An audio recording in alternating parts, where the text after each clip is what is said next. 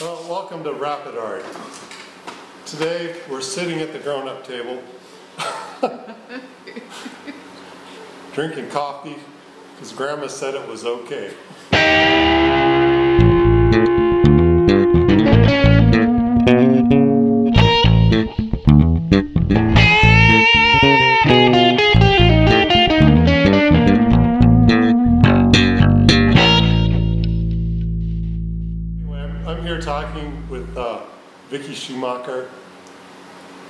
Vickie's from Sioux Falls. She's a printmaker primarily, and we're hanging out in an undisclosed location somewhere near the Wyoming border.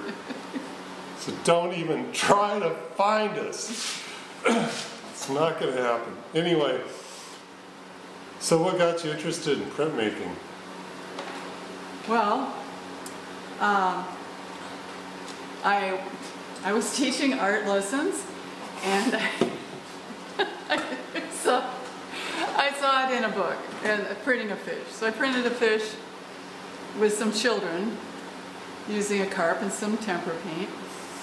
And um, it was a lot of fun. So it kind of mushroomed from there and it uh, ended up where I got to know the people in the Nature Printing Society, which is an international organization of nature printers. And um, we all print fish and plants and uh, about anything, rocks and any roadkill.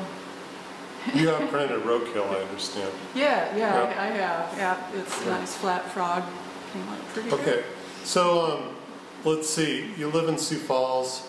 Uh, you're you've uh, you've gone to school at USD. Yeah. Studied art. I think Uh-huh. maybe art education. Art education, education. and um, taught for a while. You've been active as a, a teacher in the Sioux Falls area, teaching both in the schools and at your home, out of your home, and um, I think you, were involved teaching uh, some community drawing classes, um, and got involved in printmaking um, through your uh, through teaching, kind of, right? Yep. Um, now, the, and you spend a lot of time, uh, like every summer, you spend some time traveling to the Northwest uh, to take part in classes and also to, you teach as well, right? Yeah, with the Right. Nature Printing Society, we have Right. annual workshops, Okay. but they're not always in the Northwest, but quite often they are. Sometimes Oh. they're, um, is, the one that was supposed to be in Maine this year was canceled because of COVID. Um, and, uh, yeah, that's, I do teach the part of the, yeah, take part in teaching the workshop. Do you feel like uh, COVID's really changed the way you, you work or how you work, who you hang out with? yeah, um, yeah, it has. It, it doesn't. Um, it seems like at first it seems like you have a lot of opportunity because you have all this free time, and then after a while, I started feeling like a prisoner Yeah. in the house and not really feeling like doing anything. Um, so it's it's changed in that respect, and um, I don't know. I think you just have to. I think the Zoom meetings help a little bit and help, you know, and Right. interacting with anybody um, helps. Yeah, that's kind of what, how this all started. It was supposed to maybe give artists an opportunity to share ideas on how they're dealing with the pandemic. But it seems like a lot of artists, um, this is kind of their ideal. And so I don't know if it's helping much. No, I don't know. It, it, it's when you see somebody else making art, it seems to kind of stimulate you to want to make art yourself. And so I, I think that it, it has it has been good, and there have been you can get lessons um, on the internet and do things that way. It's it's just it's hard to keep motivated when you're alone. So. Do you find you're doing more work or less? Well, I've started doing a little bit more now, um, so I, I, I think I'm getting more interested in it again, um, in other respects too, not just nature printing, but drawing and painting, and I'm, I'm trying to work on um, getting better at watercolors and acrylic painting. So that's what I do. Um, and you, you brought some examples of some of your nature prints? Yes. Show everyone? I Cool. did. Okay. Okay, you- I'm sorry, you moved on from, Printing fish to printing plants, partly because I could only print so many walleye. I've used acrylic paints here um, that have been thinned down, and this is a printmaking paper. This is a wild grape, and this was done during the fall, and so I could really experiment with having some, some beautiful colors put into there because the, the fall colors of, are so pretty. I added some grapes to it on my, okay, we're back. okay, I'm going to do a quick demonstration. Hey, yeah, can you tell us a little bit about the tools? Okay, well, the tools here, these are called brayers, not rollers. Oh, shoot. I know. And um, the way to use a brayer is this, and when you set it down, you set it down like this. You don't set it in a big pile of... No, you don't set it like that, and you set it out of the way like this. So that's about all you need to know about brayers. And then you want to keep the ink evenly distributed on your brayer.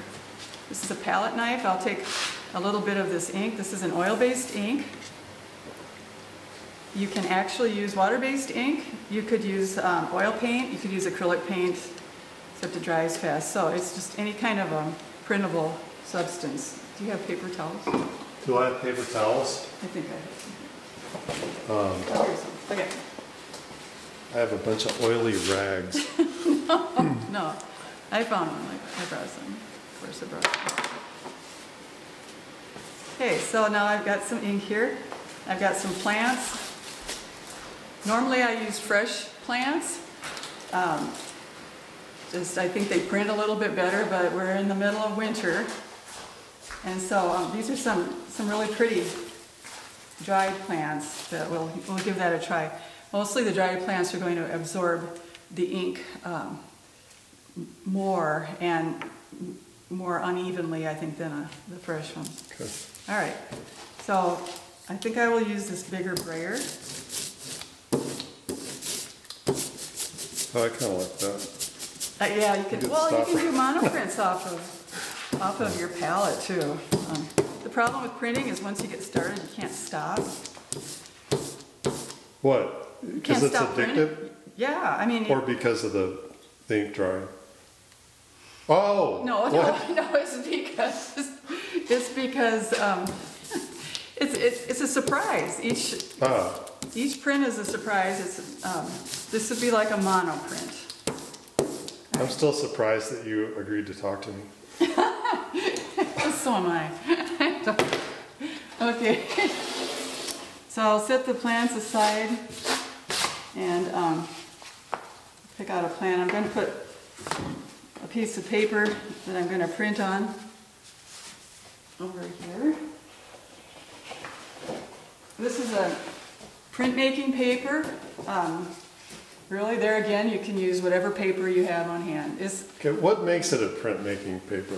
well, Exactly. The weight? the weight, you could actually use um, a cardstock that you use for, you know, your Yeah. laser printer. um, Although that, some have sizing in them, which um, is, makes the surface different. This printmaking paper will absorb your ink nicely and uh, it just feels really good. Okay. It's really nice.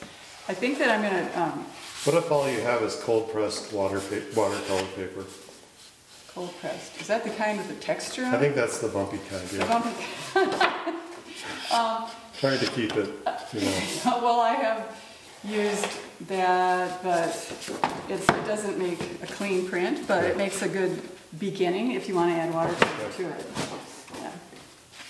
Okay, and so printmaking paper doesn't really have a right and a wrong side, but one side is a little smoother than the other, where you're gonna get a little more detail. But if you, if you grab it and print on what's the wrong side, it really doesn't matter. At least to me, it doesn't. I believe these might have been Queen Anne's lace. I'll take one of these and you hold that. Oh, Okay, okay. You already got ink on my finger. So this is going to make my ink really dirty.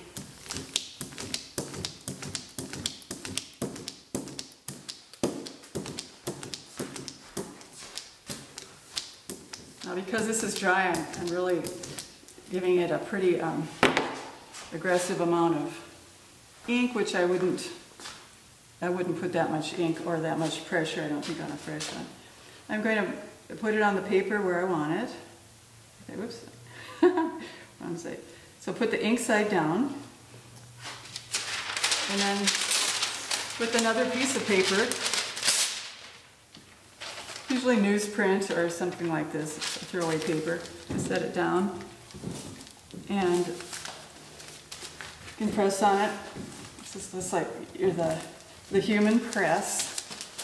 Cannot move it or it will blur.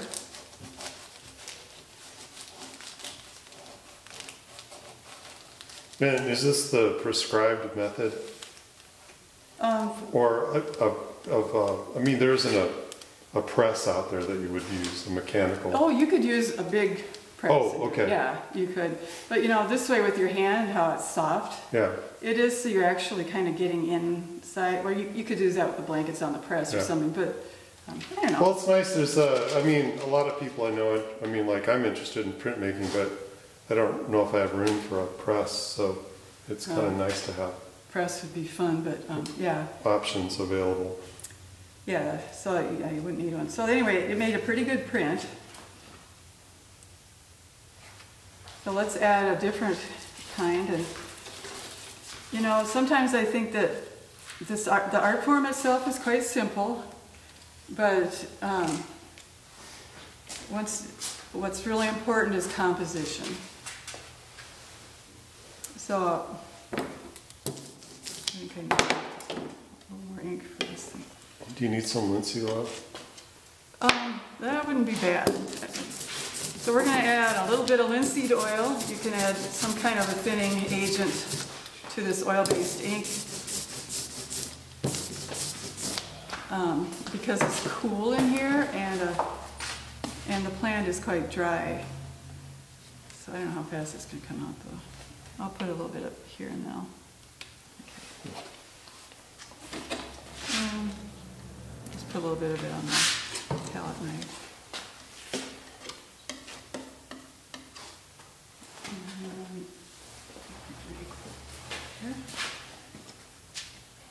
Would you like to hear a trick, a printer's trick? Yeah, Okay, so going along here like me and you, see how I'm already getting ink all over myself? mhm. And this will get on the paper also. So when that happens, there it is. Okay. Okay, so I'll take the yarrow and take the ink side.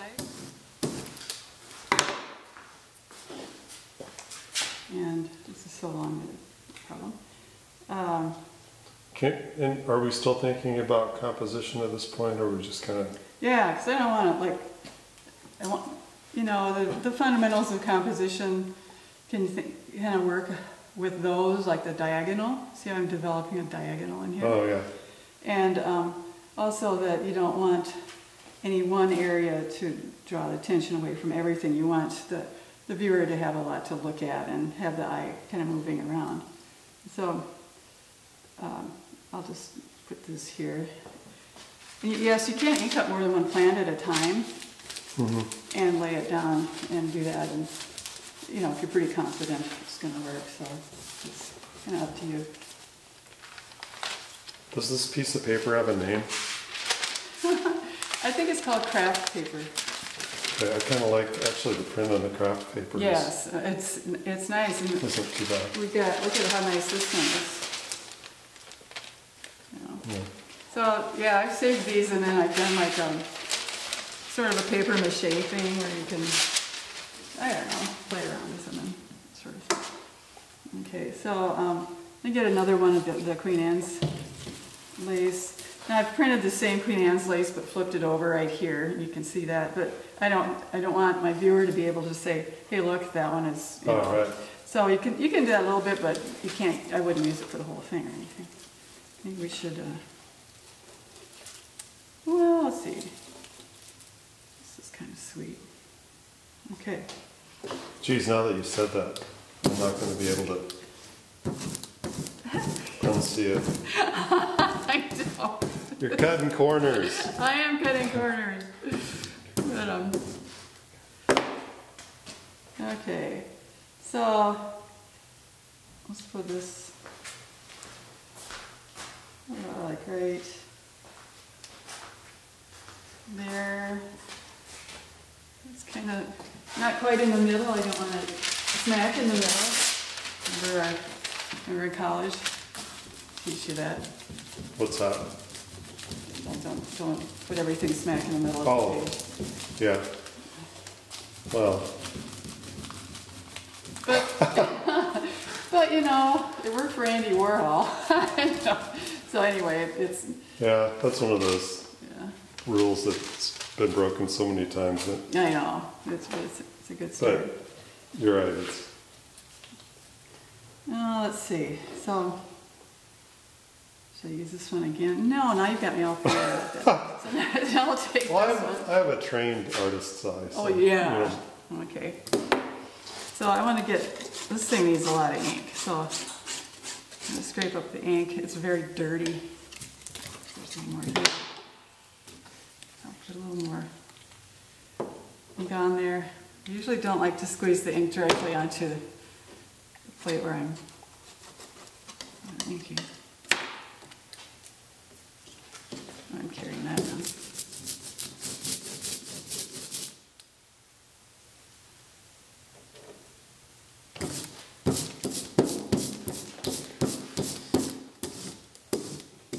Right, I like this one because it, it has a nice, um, you know, I don't know.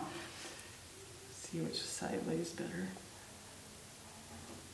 Keep in mind that once you lay it down, um, yeah. it kind of might explode on you. I, So I want to ink it quite a bit. And yeah, this, I was going to explain when I add color to these then later on. Put that there. And then here at my hand. All right.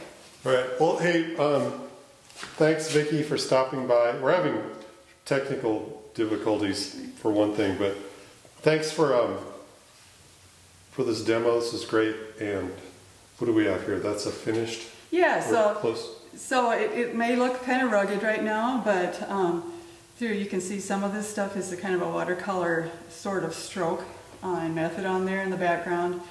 And also you can stain the paper, that's why this paper has that mottled look to it. Uh, but it'll re- resemble this more than anything. So even though it may not look like it much in the beginning, it's, the color adds so much to it. Okay, well, thanks. Um, if you're interested in Vickie's art, it's you do have um, Natureprints.net natureprints.net online. So Also, the Nature Printing. Society has a lot of, you know, good resources. okay, and I'll put those links in the in the description, video description. Um, okay, well, hey, happy New Year! This is the New Year's edition Happy New Year! of Rapid Art. Cheers.